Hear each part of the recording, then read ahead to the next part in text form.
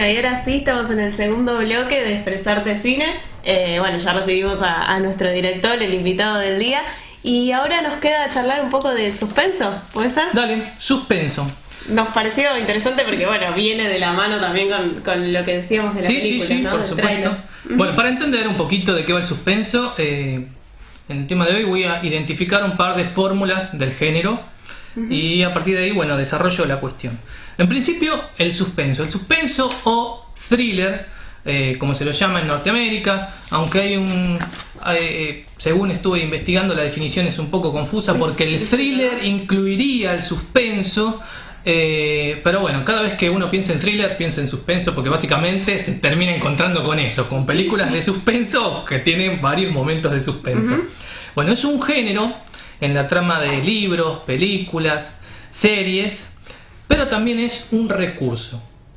O sea, la historia puede no ser de suspenso, pero sí tener momentos bien marcados por este género. Claro. Eh, trata de un sentimiento de incertidumbre eh, o ansiedad que experimentamos no solamente en la ficción.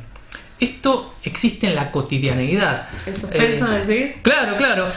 Pongo, por ejemplo, lo siguiente: ir a buscar la nota de un examen, ¿no? Que necesitamos aprobar. Y remarco el necesitamos, conscientes de que no hicimos nuestro mejor esfuerzo. Siempre pasa eso, que no hacemos el mejor esfuerzo en los exámenes, ¿viste? Bueno, no sé, Ay, no no, sé, sé. vos, cada ¿eh? uno. Pasa lo mismo. Ya en Bueno. casualidad. Y escuchar cuando recorren la lista apellido por apellido y con sí. cada apellido una nota hasta que llega el tuyo y bueno, buena o mala, eh, te liberás. Pero entre tanto sufriste una tensión y un- una tensión espantosa. O sea, eh, el suspenso... ¿Qué es eso, es- no? Claro, el suspenso mantiene despierta la expectativa del público. Hay varias fórmulas para captar el interés ¿no? del espectador. Yo me voy a, yo voy a identificar una, a lo sumo un par, porque hay varias. Eh, y bueno, y desde ahí le- les planteo el tema. Lo- la que elegí es usada en infinidad de películas de misterio, policiales, terror clásico, terror psicológico, o sea, está en todas. Y, y bueno, comienzo de la siguiente forma. Imaginemos esta escena. Nos imaginamos una peli. Sí, Dale, visualícenla. dale. Cierta persona está en el baño, tiene la puerta abierta. Esta da un pasillo largo. Del otro lado acecha a alguien desde la oscuridad, con un cuchillo en la mano. La víctima distraída busca un remedio en el anaquel. El acechador se acerca, lento. Se oye un ruido. La víctima voltea y ¡oh sorpresa! Ahí no hay nadie. Ahí no hay nadie. momento. Claro, sabemos, sabemos que es un engaño. Él está ahí, sigue adentro de la casa, ya lo vimos con anterioridad, pero desconocemos el momento preciso en que todo se va a poner feo, por decirlo con un eufemismo, ¿no? El director entonces supo, supo atraparnos con la expectativa. Claro. Después lo único que queda es el sobresalto a través de lo inesperado. Por ejemplo, la víctima, cuando miró, no vio a nadie, supuso que continuaba sola, volvió su vista al anaquel, lo cerró y ¡zas!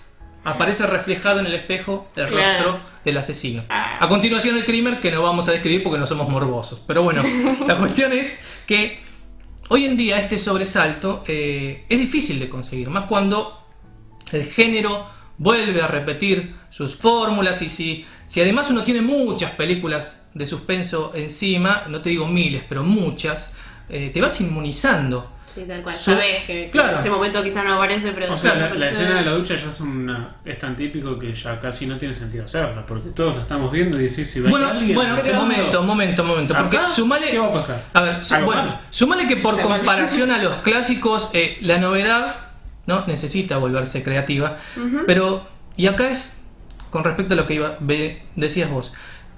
Tampoco es que se pueden quitar todos los lugares comunes. Claro, porque se perdería, ¿no? Claro. Llegaría a ser suspenso Yo, si uno yo saca. pienso que eso es imposible porque, porque también definen al género, Claro. como acabas de decir, ¿no? O sea, estaríamos hablando de una película de suspenso si no los tuvieran. Pensemos en lo siguiente, podemos, podemos eh, imaginar uno, dos, tres directores que a mí me parecería mucho que innoven al punto de la originalidad, ¿no?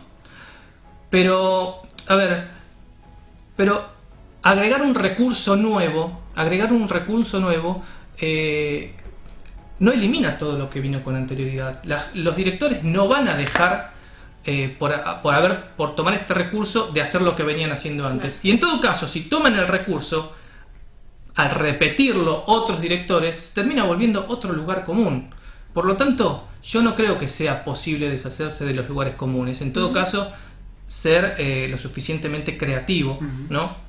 Para No, llevarlos adelante. aparte me parece también que, bueno, si bien uno se cansa, si quizás siempre son los mismos recursos, también uno disfruta de eso, ¿no? Porque no es... Bueno, claro, tal cual, tal cual. Muy bien dicho, muy bien dicho, porque es parte de lo que el público también espera o quiere ver. Lo que pasa es que eh, el director o el escritor, dado toda esta situación, necesita volverse más creativo. Claro. Eh, entonces, ¿qué hace? Y siempre refiriéndome a este ejemplo que acabo de poner, ¿no? Bueno, trata de engañarnos.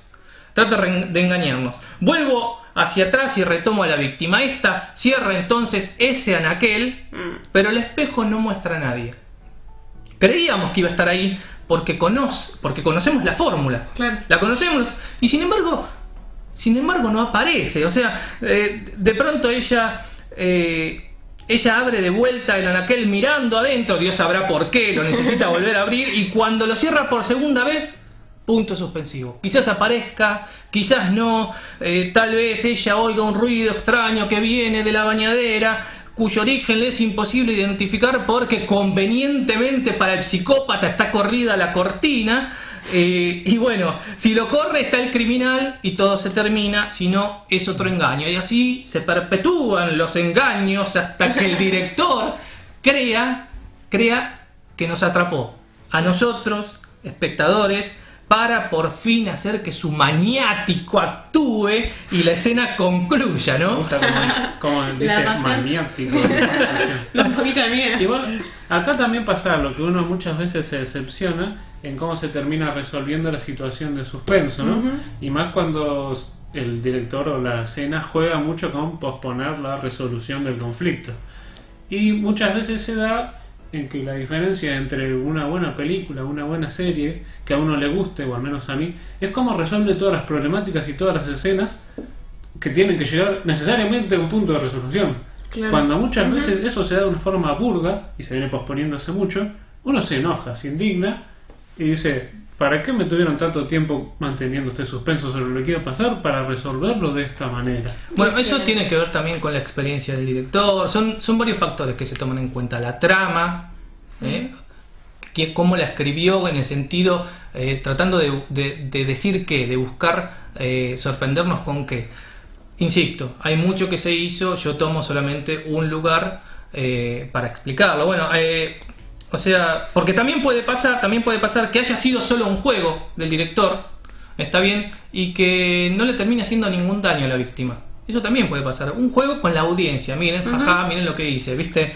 Y, o, o que haga que ella sea la que lo mate a él. Esto se ve poco, pero también ocurre. O sea, como un Sí, giro deslumbrante, un la trama, miren, sorpresa, sorpresa.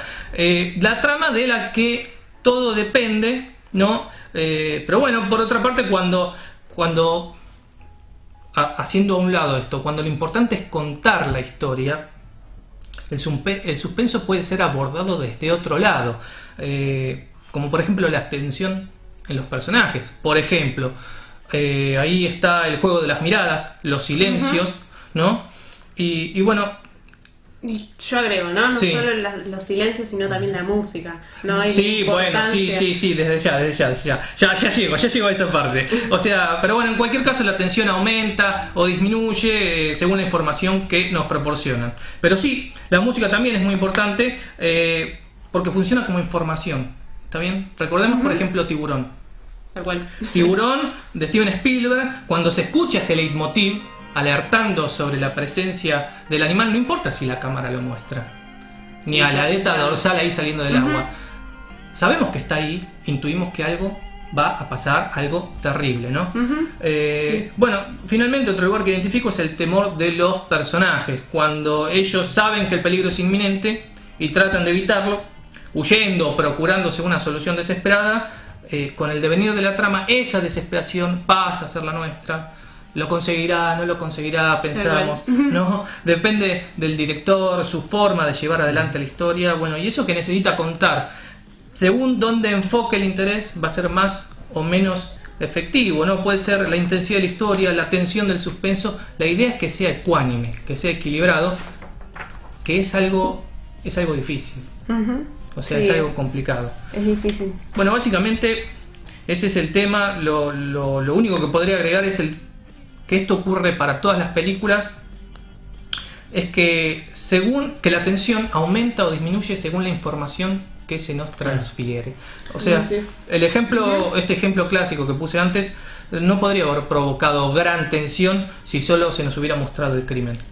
No habría pasado, o sea, No hubiera tenido gracia porque hubiera consumado. Claro, estaría, Claro, estaría el impacto de la violencia, ¿no? el hecho violento que, que- que- que, bueno, que es choqueante, pero no la expectativa que da el suspenso. Claro.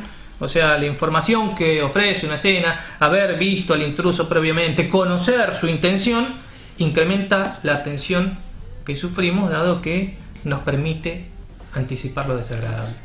En cuanto a esto de, de la tensión que se genera, también me da la impresión que hoy en día se utiliza mucho en las series, ya que si bien la película tiene un, Un periodo sí. más acotado en donde hay que resolver las problemáticas se plantean en las series, se especula mucho y se utiliza mucho el recurso de una estructura en la que el final del capítulo genera una situación de suspenso o de ansiedad ante lo que va a suceder cual. y luego se resuelve en el capítulo siguiente. Incluso como que la mayoría de las series este, actuales que, que tienen un desarrollo largo se basan un poco en esto, en, en crear a partir de la historia de los personajes y de la situación que va sucediendo y cuáles son las relaciones que van teniendo entre ellos, se crea un suspenso a partir de la historia misma de los personajes, de su personalidad y qué es lo que ellos quieren, qué es lo que va a suceder para de alguna manera ir dosificando esa información y también jugando con lo que va a pasar a futuro con las decisiones que vayan tomando. O sea que el suspenso, de alguna manera, como, como decía acá Catriel, se utiliza como un recurso que siempre está disponible para diferentes partes de la estructura del relato y se utiliza en los momentos que, que se, se presenta una problemática y en la que se va a resolver y luego viene otro momento donde viene una nueva introducción, un nuevo desarrollo y luego Y una conclusión y suspenso. Y ahí termina el capítulo. Intercalarse y siempre termina el capítulo, obviamente, con ese suspenso y resuelto la mayoría de las veces. Obvio. Y es que eso es lo que hace también que nos enganchemos, ¿no? Un poco lo que estabas diciendo. Y yo creo que es lo que hace atractivo el género suspenso. Bueno, por un lado la espera, por otro lado el saber que va a pasar algo interesante ahí. Y por otro lado yo creo que también nos interesa el suspenso en la ficción, porque sabemos que es algo súper importante lo que va a pasar, pero porque nos sabemos espectadores también, ¿no? Porque vos das sí, el claro. ejemplo del a mí no me gustaría estar. Claramente. Pero ponele, en situaciones más chicas, vos decías lo del parcial y yo decía, ay, no, no disfruto el suspenso, No, claro, ni cerca. Claro, tal cual, tal cual, tal cual. Entonces- Bueno, la idea es que uno es espectador, sin duda. Y sabés que, bien o mal, vos te levantás de la butaca, volvés a tu casa y está todo, y tu vida continúa. Puedes abrir el del baño no Claro, pasa nada. no tenés ningún problema con lo que se refleje ahí, a menos que, a menos que seas un paranoico. Eh, Pero bueno, fuera de eso, eh, sí, sí. Igual pasa, ya. ¿no? Que la gracia Es de... tensionante. Igual no sabemos si es adrenalina, no, no puede ser. Porque si la nota es buena, ¿eh? Sí, bueno, igual uno no disfruta. No, no lo disfruta, pero si la nota es buena decís, sabés lo que me pasó, sabés lo que viví y cómo contar ese momento, ¿no? Porque son los que recordás finalmente, esos momentos eh, de, de tensión o, o apasionantes de tu vida, los que, los que se terminan grabando en tu memoria. Así que hay que ver qué tan malo, o sea, mientras del otro lado no haya alguien con un cuchillo, está todo bien, me parece. Claro.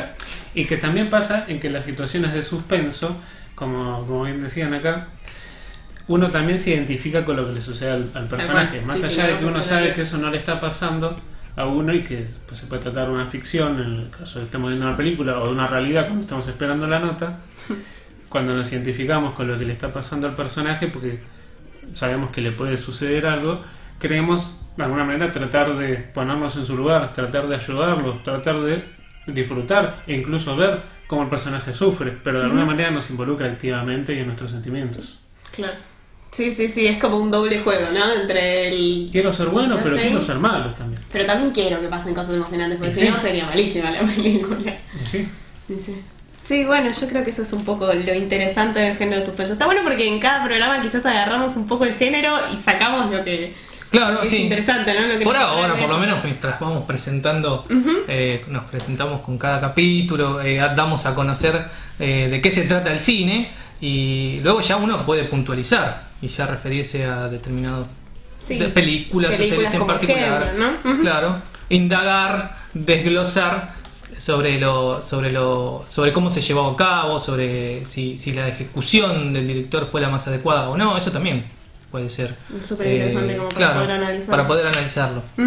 Bueno. Es Bueno, lo que nos gusta hacer mucho, ¿no? Juzgar todo el tiempo. Obviamente, como así disfrutamos del suspenso, de lo malo que le puede pasar, también disfrutamos juzgando a lo demás. Eh, estamos en un lugar de bueno, comodidad. que Estamos en un lugar de fuerte igual. ¿no? Fuerte lo que estoy diciendo. Pero juzgamos y- ah, también con buenas intenciones, ¿no? No solo buscando en lo malo que están haciendo, sino también para ver este, la calidad los buenos productos. Y para comprender un poquito más el cine, ¿no? Que es algo que nos súper atrae y a la vez, no sé, es, qué sé yo, misterioso. Por un lado, que plantea situaciones que, que está bueno ir descubriendo de a poco. Así que bueno, sí, los próximos programas la idea es seguir un poco con esto, descubrir otros géneros, hablar de temas más puntuales también. Y, y bueno, seguir hablando un poco del cine, que es lo que nos apasiona y lo que nos trajo hasta acá. Eh, así que bueno, si les parece, damos por finalizado el segundo programa, donde bueno, ya tuvimos la visita de, un especialista para que nos siga ayudando. Y la próxima ya vamos a hablar de, de otro género dentro del cine y bueno, agregar otros, otros ejemplos. Así que bueno, esto fue el programa de hoy. Eh, como dijimos al principio, eh, les recordamos las redes sociales. Nosotros estamos en Instagram como arroba expresartedemos, ahí se puede ver en pantalla, y también estamos en Facebook como expresarte. Y hoy también queríamos agradecer a nuestro diseñador gráfico, que es quien nos ayudó con el logo, que es ese que se ve ahí en pantallita, y bueno, nos ayuda también con las ilustraciones, que si no las vieron las pueden ver en nuestra página de Instagram. Él se llama Julio César Ortega y bueno, hoy no nos está acompañando, pero sí nos acompañó desde todo lo que tiene que ver con el diseño gráfico, así que le agradecemos un montón. Y bueno, nos vemos la próxima. Recuerden ver el programa el viernes a las 4 de la tarde sobre dan- eh, ay, ya estoy toda mezclada, sobre música y el lunes sobre danza. Y, y bueno, nosotros nos encontramos de vuelta el miércoles. Agradecemos, bueno, a ustedes, obvio, por, No, por gracias este a vos. programa. Gracias a vos por invitarnos. acá. Ya gana de decir eso. Del primer programa. Y bueno, agradecemos también a Radio Demos por darnos el espacio, al director Mario Neto y a Rodolfo Neto que también nos está ayudando desde los controles. Así que bueno, nos vemos el próximo miércoles y, y bueno, el viernes en, en música. No Adiós. hacer eso de saludar.